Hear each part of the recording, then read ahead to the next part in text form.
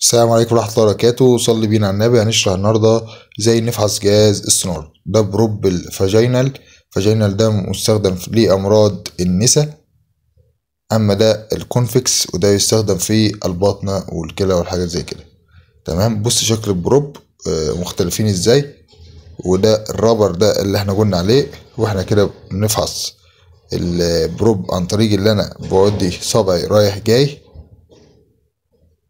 بشوفوا صبعي رايح ولا لأ. بص أهو طالما كده اللي ظاهر معايا مفيش خطوط سودا في النص كاملة كده. بص زي ما انت شايفة الصورة واضحة.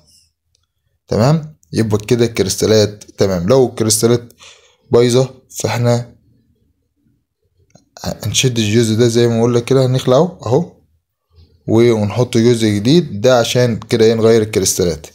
ال probe اللي أنا ماسكه ده convex تمام؟ وده ال rubber لو اتخدش برضو بيأثر على الصورة. ده rubber ده ده ال rubber اللي هو في اللي فوق اللي انت إيه بتمشي فيه إيدك. بص بص الاتجاه رايح جاي منور.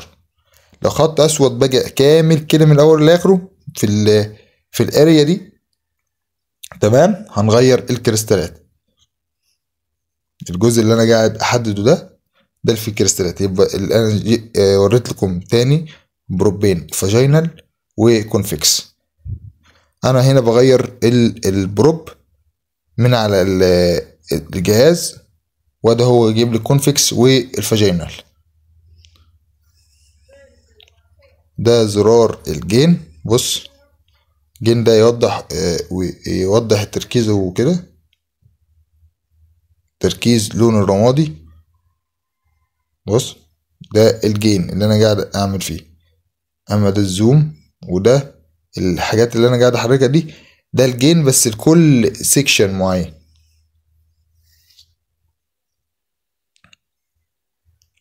بص أهو زي أنا قاعد أفحص ال probe زي ما أنت شايف. إحنا هنا أنا بعلمك هنا إزاي تفحص ال probe. طالما يعمل معاك رايح جاي مفيش خطوط سو خط أسود كده تمام؟ يبقى كده ال probe مش واقع ولا إيه.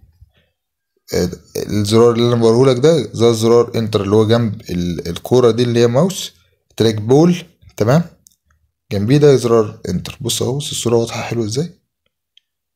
لو ما عملش كده يبقى ال probe فيه مشكلة. crystalات عايزة